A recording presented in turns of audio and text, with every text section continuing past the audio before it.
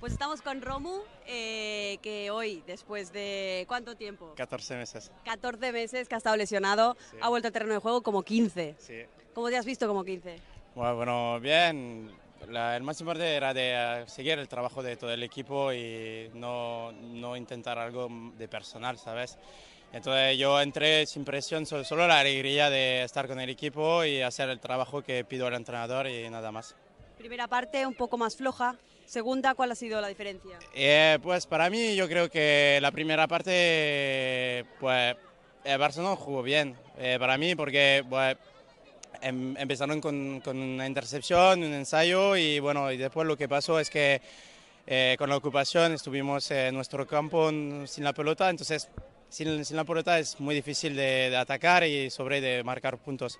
Y yo creo que el cambio de la segunda parte era sobre todo porque teníamos la pelota y podíamos eh, hacer nu- nuestro juego y yo creo es por eso que marcamos la diferencia al final.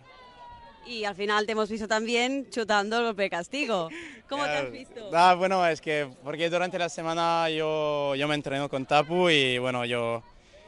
eh, es como un regalo, él me, me dijo, pues, para decirte bienvenido y me dijo, "Va, va a chutar la última y ya está. Entonces, pues, gracias a él y es, pues, es un pequeño señalo y pues muy bien. Ya te vamos a empezar a ver ya rodando, ya, Ya, en los eso- campos. Yo eso hay que ver con el entrenador, pero yo, yo la verdad es que voy a seguir a entrenar.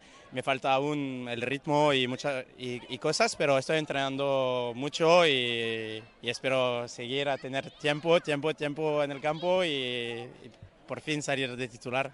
¿Y ¿Cómo se presentan los próximos partidos para la Samboyana? Bueno, antes de todo, vamos a Madrid la semana que viene y yo creo que va a estar un partido muy duro y, y antes de, de, de pensar a otro partido hay que pensar al partido de, de Madrid el fin de semana que viene y, y yo creo que ahora que estamos primero, cada partido va a estar más duro porque como pues cuando los equipos van a pensar que, cuándo van a perder, entonces cada partido yo creo va a estar muy difícil y Madrid la semana que viene y parece que tiene un buen equipo, entonces hay que, hay que seguir y yo creo que hay, sobre todo utilizar hoy la primera parte para trabajar y mejorar.